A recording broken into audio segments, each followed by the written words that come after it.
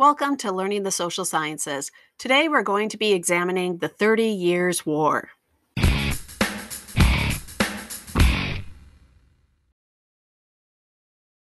How in the world does the center of Europe have a war that goes on for 30 long years in the 17th century? Well, there's numerous causes to this. First, Germany does not really exist yet at all. Germany is not going to be a nation until 1871. Right now, it is a fragmented puzzle of 360 almost up to 1000 autonomous semi-autonomous political entities all on Europe's highway for trade and travel. It is also a place that is religiously diverse for, well, Central and Western European standards. You have the Peace of Augsburg that was signed that said that the princes of the various territories can decide whether or not they are going to be practicing the Lutheran faith or the Catholic faith within their borders. However, things become a little bit skewed when Calvinism starts to enter the picture. Now, although the Peace of Augsburg brought kind of a federal level peace with the Holy Roman Empire, you have an issue at the local level in some areas. And so various locations will have little fires brew where you have some religious conflict, but they usually stay just regional and those fires are extinguished. However, when we have a fire start in Bohemia, things will go a little bit different and the 30 Years' War will begin. So, what in the world is going on? Well, let's go back to Charles V. Charles V was the king of the Holy Roman Empire and the king of Spain. However, he, well, retired early and abdicated from his throne. He gave Philip II Spain and its territories, and he gave his brother Ferdinand the Holy Roman Empire and its territories. And when Ferdinand came to power, he started to push for more control in terms of the territories and to bring the Catholic Church to, well, what he thought to be its desired state.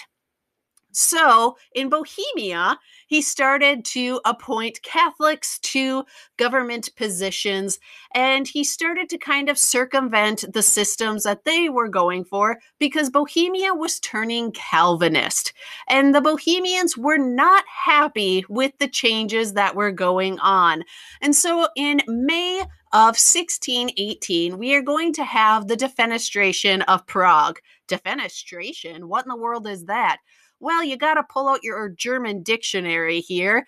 Fenster in German is window.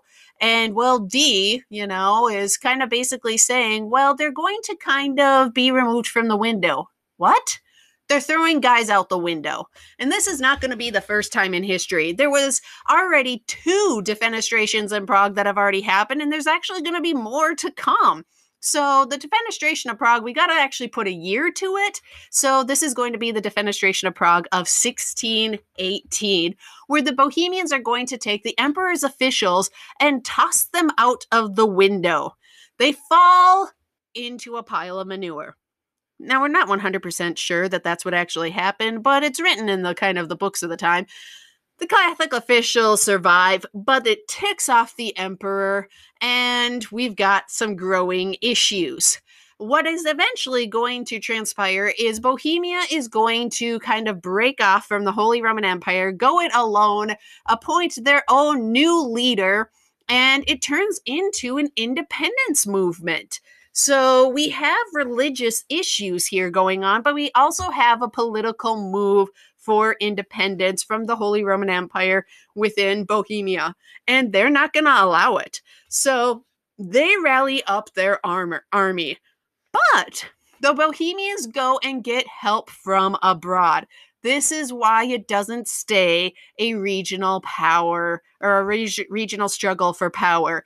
They go and get help from various other countries, and including the Ottoman Empire, they make a deal with the Ottomans for soldiers that they will pay a yearly tribute to the Ottoman Empire to have soldiers fight on behalf of Bohemia. They call in the Danish, they call in various Germanic states and form a Protestant alliance. They are going out to make sure that they have an alliance system and network so that they can actually fight against the Holy Roman Empire. Unfortunately, it doesn't work for them. The Holy Roman Empire forces are able to beat Frederick, their leader, their king, and is able to then retake Bohemia. And then they go in and say, hey, if you're nobility, if you want to keep your title and your land, convert to Catholicism or lose everything. With that plan, within 10 years, Bohemia is a Catholic majority nation again. However, the kind of the fire has started. Now they've put out the fire in Bohemia. However, peer, er, locations over in Western Germany and up with the Danish are still raging. The fires are still burning. King Christian the Fourth of of Denmark goes and launches in his attack versus the Holy Roman Empire. However, it's not really that great of an attack.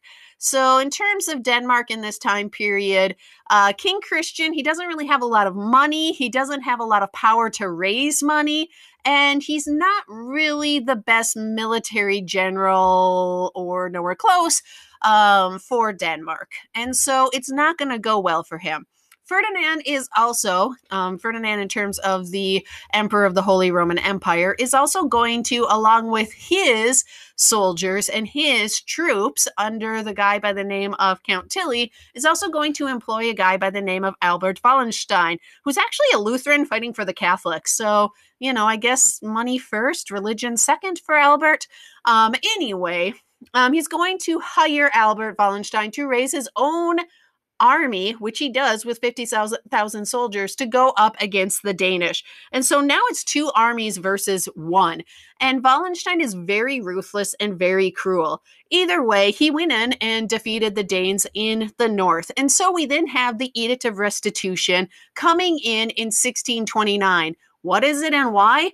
Well, we now have the Holy Roman Empire, the Catholic Empire, having two big victories in a row. And so they say they are going to restore to the Catholics all the lands lost since 1552.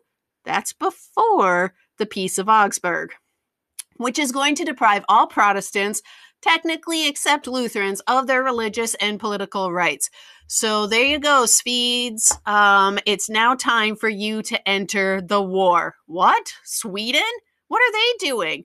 Well, King Gustavus Adolphus the king of Sweden hears the cries of the Protestants down in the Germanic nations and in the various locations of the Holy Roman Empire. And him being the lion of the north and a devout Lutheran comes down with his army to free the Protestants underneath the Edict of Restitution and their Catholic Emperor Ferdinand. In other words, he's getting involved in the war. And so the Swedish phase of the Thirty Years' War is going to last from 1630 to 1635.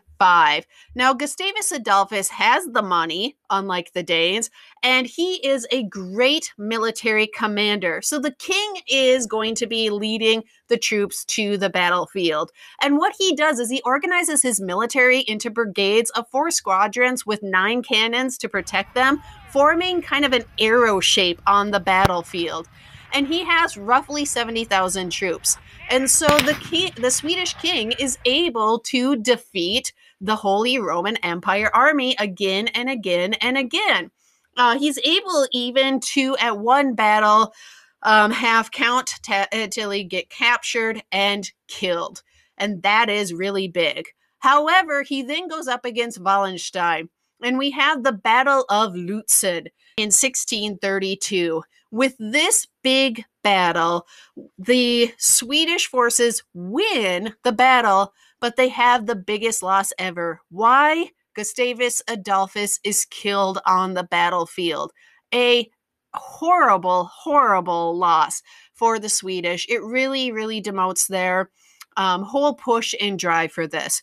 Now, for Gustavus Adolphus being such a devout Lutheran, he does not have his remains brought all the way back to Sweden. He has already arranged if something would happen to him on this campaign that he would be buried in the castle church right next to Martin Luther in Wittenberg, Germany, and that is where he still is to this day. So if ever you are in Germany in Wittenberg, you can go see um, Gustavus Adolphus in Germany, a Swedish king in Germany.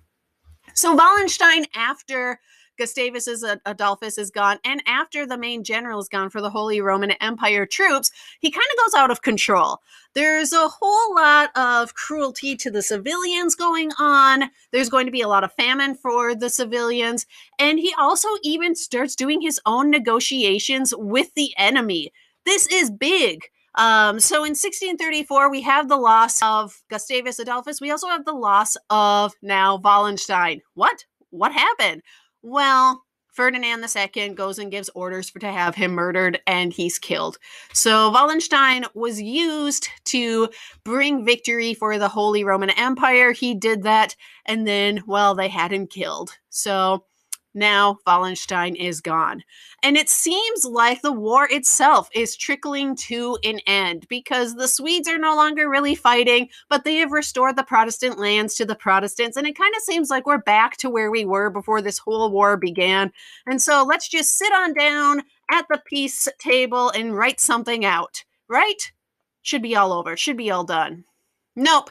The French enter the conflict. The French, a Catholic nation, enters on the side of the Protestants. Why? They want to make sure Germany never becomes a thing. They want to keep the center of Europe and Western Europe, their border, fragmented. They also want to always try to reduce the power of the Habsburgs. Because if you think about it, the Habsburgs are in power in what is like Austria and the Germanic areas, the Holy Roman Empire, and they're also in power in Spain. And so France always has these borders with this one very powerful family, which makes them feel uncomfortable. And so the chief minister of the King of France at the time, we have King Louis XIII, but his chief minister, Cardinal Richelieu, goes in and sends in the troops to try to weaken the power of the Habsburgs. And he also says that he wants to go take the province of Alsace. Now, when France goes in there, other nations also join in. Spain goes and joins in. Of course, the Swedish are there, but we have Denmark and Norway coming back into this battle. Um, but they're now coming back in the battle on the side of the Holy Roman Empire, who Denmark had just fought a few years earlier. They're switching it up and going and elongating the war.